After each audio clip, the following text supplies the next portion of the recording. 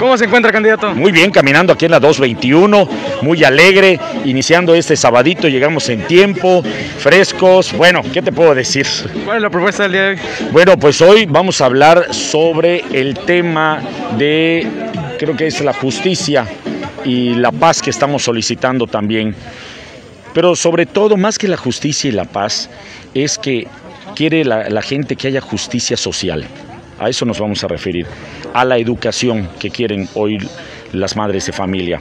Tomando en cuenta que muchas madres y padres están trabajando, no tienen guarderías donde dejar a sus hijos, este gobierno les retiró todas las guarderías, no tienen donde estudiar los niños porque hay muchos menores, casi el 23% no está yendo a la primaria, a jóvenes me refiero, y no tienen internet y no tienen computadora, no tienen laptop. Entonces estamos haciendo un compromiso. El compromiso es dotar de tablets a los niños de secundaria y llevar internet gratuito a las colonias, sobre todo en las más marginadas, para que puedan seguir con sus estudios los jóvenes y no se queden sin estudiar. No podemos concebir un municipio sin educación y sin que los jóvenes terminen una profesión. Sobre todo porque siempre tenemos en mente que el joven está estudiando para que cuando termine una carrera busque chamba. No, no solo ser buscachambas, sino que sean jóvenes emprendedores y eso es lo que queremos. Hoy es el Día del Maestro. ¿Algún maestro que le haya marcado en su infancia y, y, qué mensaje tiene para ellos? Pues sí, totalmente. Desde el primer año tuve una muy buena maestra que en paz descanse, la maestra Alicia. El cuarto año el profesor Sergio Díaz Argáez, que me enseñaron a recitar, me enseñaron a declamar y me enseñaron a cantar. Y hoy me acompaña nuestro candidato a regidor, que es profesor. Es. Aquí está. Mucho gusto, Raúl Ascorra. Y el, Raúl el profe. Raúl Ascorra da clases. En y qué Miguel mejor Hidalgo. hoy. Ah, sí, en la Miguel Hidalgo. Es, aquí de Villa Sotoch. Eh, pues es un, un, gusto y un placer estar acompañando aquí a nuestro candidato el día de hoy.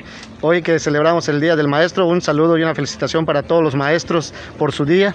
Y pues aquí estamos trabajando y machacando para que salgamos adelante y rescatemos Cancún.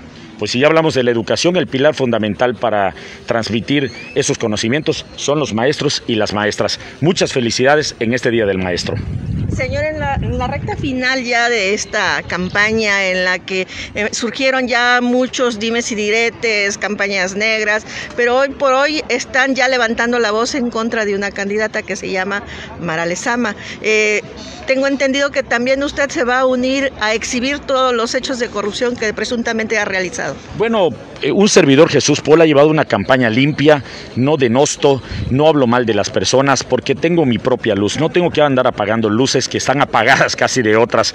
Entonces, pues el PRD va a tomar las medidas porque además, cuando fui legislador federal, reformamos el artículo 19 constitucional. Todo aquel que use recursos públicos para las campañas electorales y programas sociales se tiene que ir con prisión preventiva oficiosa. Tenemos que aplicar la ley, porque la ley no debe ser para unos cuantos o esconderse detrás de un partido político. No, eso no puede ser. Si es culpable, como salieron los videos de Rodrigo Alcázar, con prisión preventiva oficiosa. De hecho, el regidor de nuestro partido, José Luis Acosta Toledo, solicitó desde hace varias semanas cuántos trabajadores que les dio de alta últimamente este gobierno emanado de, de, de donde estuvo Mara Lezama, cuántos pidieron licencia para irse su campaña, los recursos que están utilizando, trabajadores que están a disposición de la campaña, trabajadores que les están exigiendo su credencial de elector para que voten por ella. Entonces hay una presión sobre los trabajadores y decirle a los trabajadores del ayuntamiento, no están solos.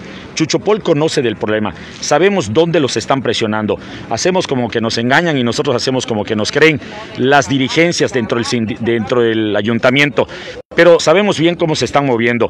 Les digo, no están solos y van a tener en mí un aliado, Chuchopol, porque yo también fui trabajador del ayuntamiento en algún momento y vamos a hacer que respeten los derechos humanos de los trabajadores del ayuntamiento y con la libertad ustedes puedan votar.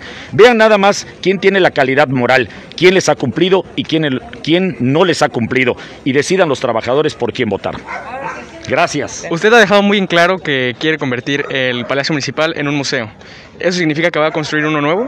No, el, va a seguir siendo el Palacio Municipal, donde va a estar el presidente municipal, síndico regidores, secretario general y radio ayuntamiento.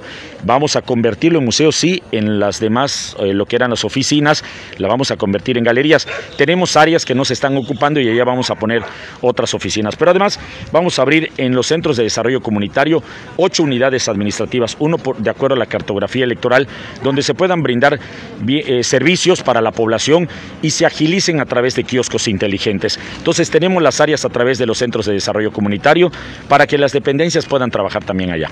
Gracias, candidato. Gracias a ustedes y gracias a Cancún Chanel.